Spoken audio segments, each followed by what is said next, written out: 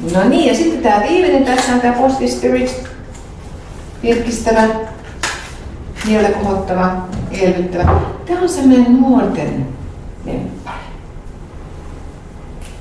Mä sitten Susana kävin Helsingin, Helsingissä jossakin ammattikoulussa tai missä mä mahdoin ollakaan, pidin tämmöistä pientä luentoa siellä ja, ja silloin oli näitä semmoisia sorolonpulloissa tämmöisiä öljykoosteita ja tämä Positive Spirit oli silloin öljymuodossa Eli tämä on sitten semmoista mielenpainaamaa muuttava.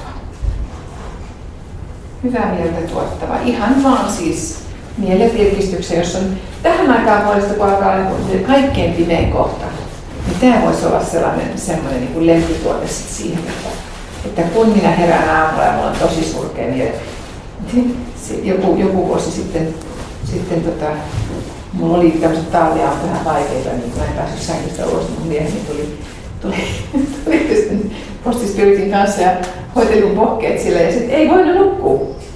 Se vaan niin herätti ja, ja piti niin kuin nousta ja ruveta tekemään pimeänä aamuna. Mutta siinä sitten, jos ajattelee, mikä se on se varsinainen niin positiivari siinä, Aa, reippi. Mä en nimittäin sitä iloa yksi ihan sellaisenaan. Et se on ihan sellainen hyvä tule, tule tuo ja sellaisenaan se. Noin.